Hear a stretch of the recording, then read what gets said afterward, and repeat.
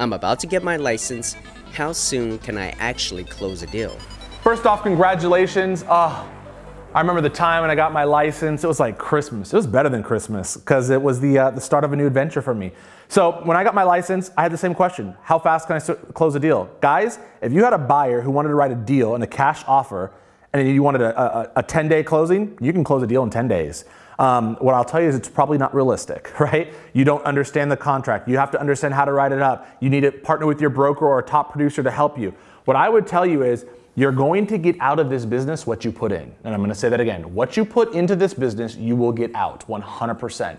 So if you're, I'm assuming you're asking this question because you're anxious to start making some cha-ching, some money. And so what I tell you is Find a mentor in your office. Take the 30 day challenge and start now, right? Like, use this platform as a resource. Network with some of the other agents on here and ask questions. Hey guys, what do you think about this? What, I mean, there's so many options that you have to increase your chances of closing a deal. And I'm assuming you're asking this question because you want to know how fast can you get paid? How fast can you close a deal?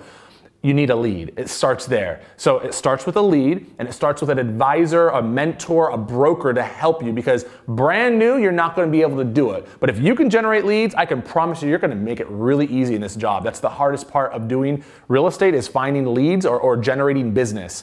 Um, all the other stuff will happen over time and you have great mentors and great staff at your brokerage, hopefully you selected the right one, that can actually help you. So uh, it's as fast or as slow as you want it. Um, for most people, it's, it's, slower than they want, but I think it's, uh, it depends on how hungry you are. Ciao.